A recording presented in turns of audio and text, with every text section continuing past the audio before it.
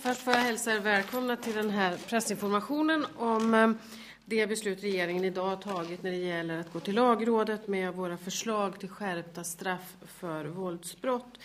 Och som ni kommer ihåg så är det ett viktigt löfte i regeringsförklaringen och viktigt av naturligtvis också andra skäl. Eh, förslaget innebär att vi skärper tre straffskalor men också att vi använder straffskalor bättre. Och jag ska försöka att ganska kort gå igenom den proposition som vi hoppas att vi ska få när vi har gått via Lagrådet. Det är ju så att straff ska återspegla allvaret i brott och allvarligare brott ska naturligtvis då bedömas strängare än mindre allvarliga. Och synen på allvarlig brottslighet ändras ju över tid eh, och när det förändras så måste också lagstiftningen hänga med. Och det finns en otålighet ute i det svenska samhället där man uppfattar att straffen för väldigt eh, grova våldsbrott inte ligger i linje med den allmänna rättsuppfattningen. Det beror på flera saker, inte enbart på att straffskalorna är fel utan också på att domstolarna i allmänhet hamnar lågt när det gäller eh, straffbesluten, då, eller påföljdsbesluten.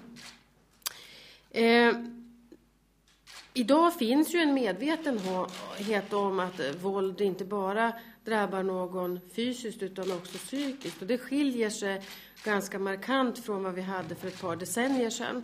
Då kunde man göra upp bakom dansbanan och, och puckla på varann.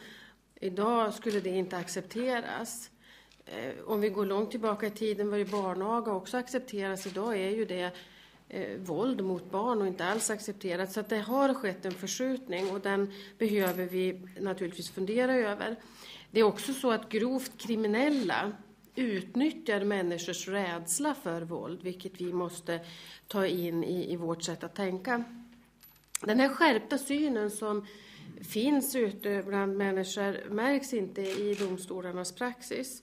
Utan det är som jag säger att man hamnar i den absoluta nederdelen av straffskalorna. Och därför finns det starka skäl att höja straffnivån för de allvarligaste våldsbrotten. Och då till förslaget. Vi föreslår att straffen höjs genom att i de generella bestämmelserna som gäller när straff ska bestämmas så anges att det ska beaktas om ett brott inneburit ett allvarligt angrepp på någons liv eller hälsa eller trygghet i person. Eh, och därmed så får man en bättre effekt på att använda hela straffskalorna. Eh, vi kommer att få en större spridning när det gäller hur man använder dem. Eh, vi räknar med att det här kommer att ge märkbara förändringar och större förändringar ju grövre brotten är. Och den här skärpningen gäller då brott som eh, idag har ett straffvärde eller som har ett straffvärde om minst sex månaders fängelse. Och exempel på sådana brott är allvarlig misshandel, allvarliga hot, övergrepp i rättssak, människorov, olaga frihetsberövande, grov kvinnofridskränkning, rån, utpressning och sexualbrott. Vi föreslår då när det gäller misshandel, grov misshandel, eh, en förstärkning kan man säga genom att ehm, dela in eh, den grova misshandeln i två delar, skulle man kunna säga. Där vi har en, en del som handlar om grov misshandel, men där det nya är begreppet synnerligen grov misshandel. Och där föreslås en, en, en straffskala på 4 till 10 år. Eh, för annan grov misshandel så är ju straffet då lägst 1 och högst 6 år. Så att vi får två varianter på grov misshandel. Och då kan man fråga sig vad är då synnerligen grov misshandel? Och det har vi försökt tydliggöra i förslaget. Eh, vid bedömningen om en misshandel är synnerligen grov så ska man ta hänsyn till sådana saker som om det har lett till en bestående kroppsskada. Man kanske har blivit blind, fått en hjärnskada, är handikappad för resten av sitt liv. En annan sak som, som gör att en misshandel eh, kan vara synnerligen grov är tortyrliknande grovt våld. Eller när man har använt grovt våld mot ett barn. någon väldigt gammal person eller en handikappad, funktionshindrad. Eh, också när flera personer har gett sig på en ensam person kan det vara synnerligen grov misshandel.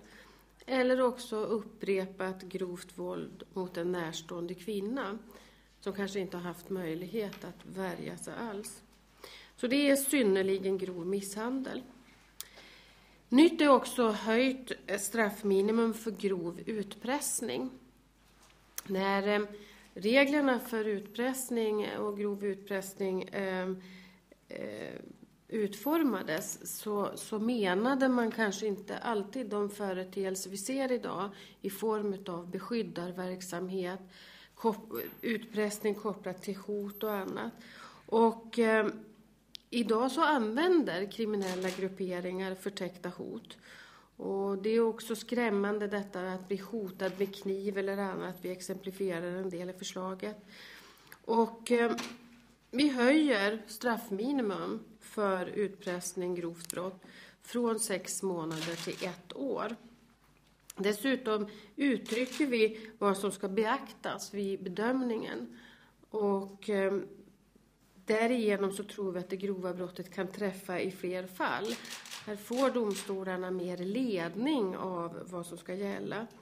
En utpressning bör bedömas som grov när någon har utnyttjat sin anknytning till en gruppering som ägnar sig åt beskyddarverksamhet eller illegal indrivning. När flera personer har trängt sig in i någons bostad och hotat med vapen eller när man på något sätt med allvarligt hot om våld eh, mot någons barn eller annan närstående tvingar fram pengar. Det, det, är den typ av exempel som vi har för grov utpressning.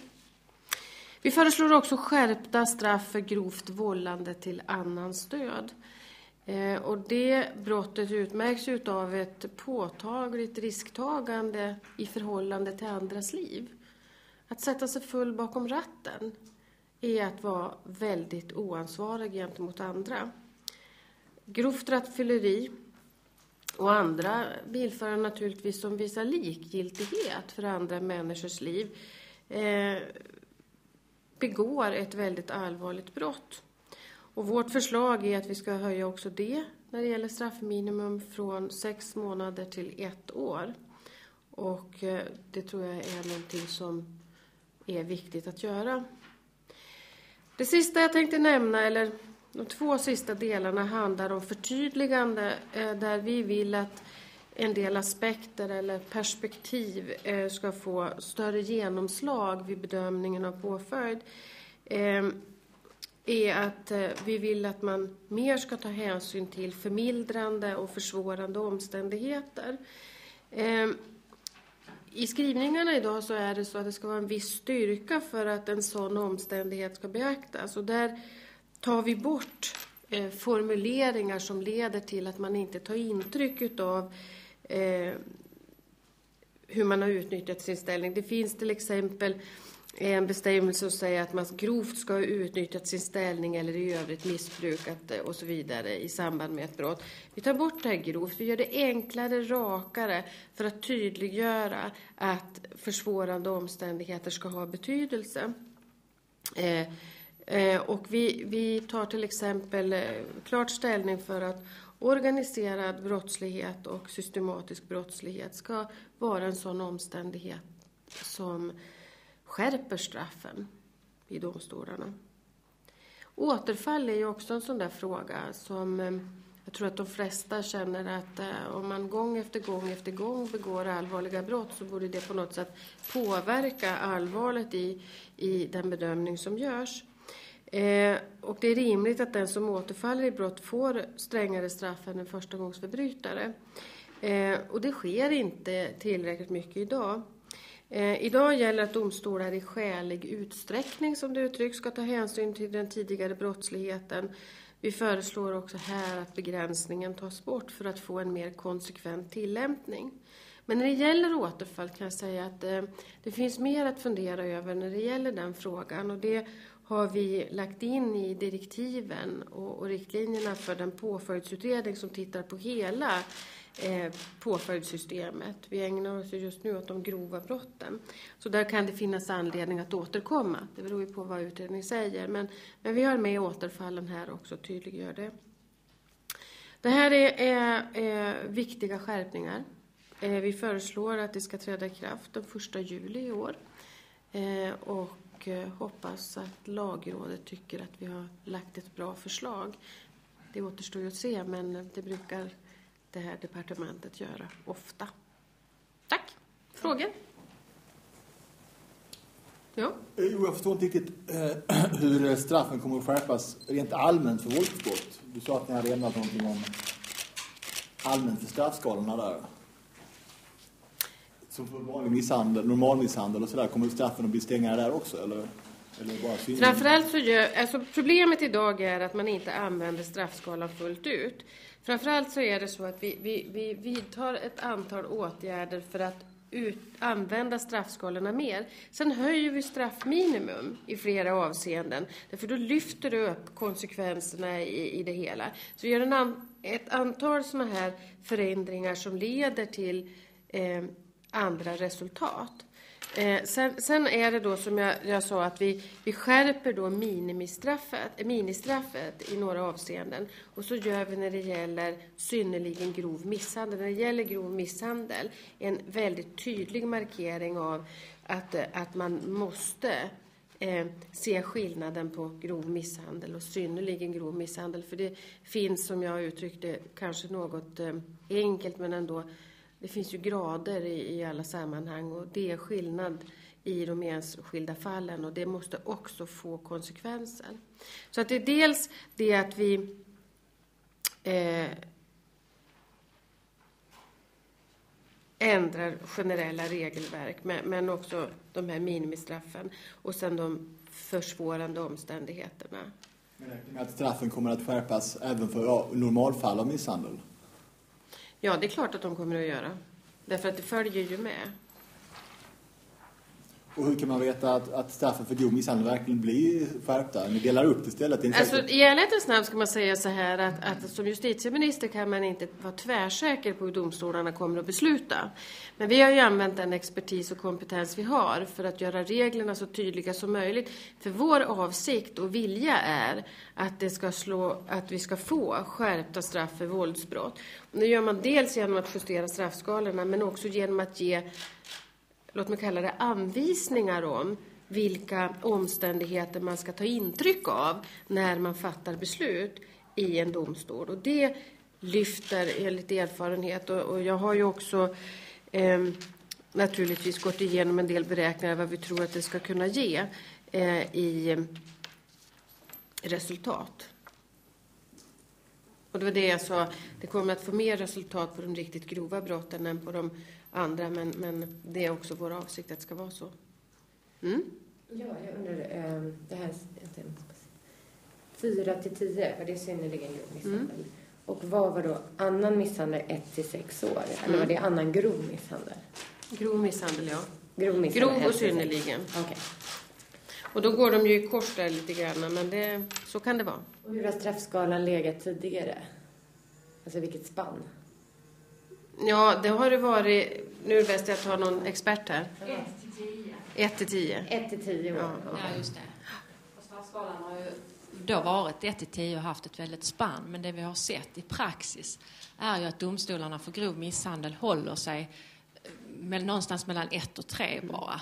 Mm. Så att de ligger väldigt lågt. Mm. Och genom att vi då delar upp straffskalan på det här sättet så kommer det bli så att när domstolarna faktiskt ser att omständigheterna i de fall som ministern beskrev mm. här eh, är, när misshandeln är synnerligen grov, ja då måste de använda straffskalan 4 till 10 år. Så då får vi en mycket högre lägstanivå. Och dessutom tillsammans med det andra förslaget om generella höjningar av våldsbrotten så innebär det just för misshandel att den synnerligen grova misshandeln påverkas från två håll. Den får ett nytt minimistraff och dessutom ska man beakta att det är allvarligt utifrån den här generella straffhöjningen också. Och det är också så här, ska ni veta, att i 98 procent av fallen när det gäller grov misshandel så hamnar man idag i den nedersta fjärdedelen av straffskalan. Så det här får stor betydelse. Vi har ju gått igenom hur det ser ut. Mm? Vad är skälet till att man inför en helt ny rubricering? Att man inte så att säga, höjde lägsta straffet för grov misshandel? Man kan ju tänka sig att domstolar i gränsfall faller över till att betrakta ett brott som eh, grov misshandel och inte synnerligen grov misshandel. Mm. Det är därför de går i kors de här stegen lite grann, därför att det finns ett gränsland där. Men det är ju ett sätt att tydliggöra avsikt avsikten, nämligen att använda hela skalan mera. Om vi hade valt att, att, bara höja eller göra det längre så är det inte säkert att du får någon förändring. Men genom den konstruktion som vi nu gör så får vi också eh, tydliga besked om vilka aspekter eller vilka sammanhang det kan tänkas. Sen i detaljerna är det ju domstolspraxis som gäller, men, men det är vår bedömning att det, man måste göra på det här sättet om man ska få det resultat som är avsikten. Men vill inte, det, är det inte enklare bara att höja minimistraffet för, för grov misshandel? Varför valde ni inte det? Därför att vi ser ju då att i, när det gäller grov misshandel generellt så hamnar man oavsett vilken gravhet det är i den nedre fjärdedelen av straffskalan. Så även om vi hade höjt så hade du inte fått någon skillnad i, det är ju en spridning alltså. Du måste faktiskt ha ett, ha, alltså, om vi vill ha påföljder som är proportionerliga, som, som står i relation till brottets allvar, då behöver man nog se till att man får mer spridning. Och då är den här konstruktionen eh, viktig. Så regeringen anser inte att, man, att alla typer av misshandel behöver inte, man behöver inte höja straffen på alla typer av misshandel utan det är just den här, Nej, alltså generellt om jag nu ska förenkla kan man säga så att det är sällan fel på den bortre gränsen på straffskalorna som vi har idag. Problemet är att de aldrig används. Utan problemet är att, att vi inte får den här eh, flexibiliteten kanske flexibiliteten eller den här proportionerliga bedömningen tillräckligt väl använd. Och då måste man fundera över vad man gör. Då handlar det inte om att bara göra, göra skalan längre eller flytta den, för då har du ju ändå samma resultat. För, för vi vill ha mer utav eh, preciserade påföljdsbeslut, om man får uttrycka mig så. Mm. Ja. En sak till bara. Ehm, du sa att upprepat grovt våld mot en kvinna i hemmet, som jag förstår det mm. rätt, kan vara synnerligen grovt. Gäller det också våld mot män i hemmet? Ja, det kan det ju göra naturligtvis. Det är ju inte könsbundet så. Eh, men det vanligaste är att det är en kvinna som är fysiskt svagare och mer utsatt. Det inte så att det är just kvinnor? Jag är inte exakt säker på hur det formuleras i, i, i, propositionen, men vi ger exempel. Vi försöker tydliggöra någonting som stämmer med verkligheten. Men, men det är nog ingen tvekan om att domstolarna kommer inte att bedöma män annorlunda än kvinnor som befinner sig i, i en likartad situation. Mm. Varför har man inte... Ja, kanske kan ja. Nej, du var före. Ja, du var före. Eh, definiera misshandel i två grupper. Där. Varför har man inte definierat hedersrelaterad misshandel och våld och så barnmisshandel utan delar in det i sådana här grupper? Eh, det behövs ju en skärpning i eh, hedersrelaterade och barnvåld. Det finns en hel del att göra när det, eller fråga, en hel del att fråga sig när det gäller hedersproblematiken. Den har ju inte varit med i, i, i det här arbetet. Eh, men eh, när det gäller barn så kan man ju säga att det här har vi ju en utsatthet naturligtvis. Men det här gäller grova våldsbrott. Och eh, annan problematik kommer ju i den stora påföljdsöversynen och i andra arbeten. Eh, tror ni att straffskärpningarna kan leda till färre våldsbrott? Eller är det bara ett sätt att eh, leva upp till allmänhetens rättsuppfattning? Eller kan det leda till färre våldsbrott också? Det är ju så här att påföljder, eller mitt intryck är att påföljderna eh, påverkar väl framförallt planerad brottslighet och, och planerat agerande. I stundens hetta kanske det inte gör det. Men sen är det en oerhört viktig sak att påföljderna stämmer överens med, med den allmänna uppfattningen om hur allvarligt man ser på ett brott. Och, eh, Det tror jag är minst lika viktigt. Men, men jag tror att det kan förhindra ett och annat brott. Men det är inte det enda, så att säga, utan eh, brottsförebyggande effekter, det är en ganska komplex fråga och det är det nog många andra saker man ska ta till sig. Men det är klart att den här typen av skärpningar vad gäller organiserad brottslighet kan ju tillsammans med den mobilisering som vi gör och de kraftiga insatser vi sätter in har betydelse. Och då är det här ett led i där, där vi jobbar brett för att bekämpa den typen av kriminalitet. När det gäller utpressning tror jag definitivt att det har betydelse. Och det, det har ju framförts också att med, med det väldigt, den väldigt korta påföljd man har idag, det är ett lågt straff, så, så tar man inte intryck av och det gör ju det att det är Eh, får konsekvenser. Det är klart att den skärpningen kan ha betydelse för om man vill, kan eh, ägna sig åt den, den typen av verksamhet. För det är ju mer en verksamhet eh, som, som de ägnar sig åt som utsätter människor för grovt våld eller hot om grovt våld. Okej? Okay. Alla nöjda och glada? Men det här är som sagt en av de viktigaste förändringarna som vi gör på straffrätten under den här perioden. Sen återkommer vi i nästa med hela påföljdsöversynen. Tackar.